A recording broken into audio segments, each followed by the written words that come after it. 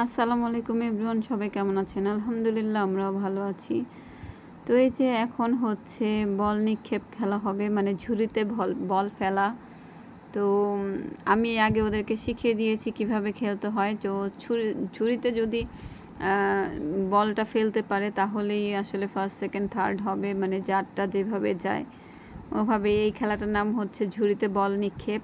তো, অনেক সুন্দর করে ওরা খেলছে আসলে। আর বাচ্চাগুলাদের খেলাগুলোও মানে অনেক সুন্দর আরও ওরাও খেলছে অনেক সুন্দর করে। তো আমাদের, ওদের দেখে ছোটোবেলার খেলাধুলার কথা মনে পড়ে গিয়েছে। আসলে আমরাও ছোটোবেলায় কত রকমের খেলা খেলতাম, খুব ভালো লাগতো।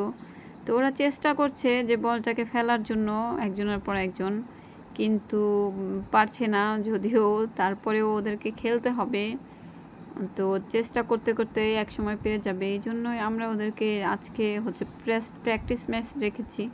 তো আর প্র্যাকটিসটা কয়েকদিন হবে, তাহলে ওরা শিখে ফেলবে খেলাটা, বুঝতে পারবে খেলতে। তো প্র্যাকটিস করানো হলে আসলে বাচ্চারা পরবর্তীতে আসলে খেলাটা নিজে নিজে থেকেই খেলতে পারবে।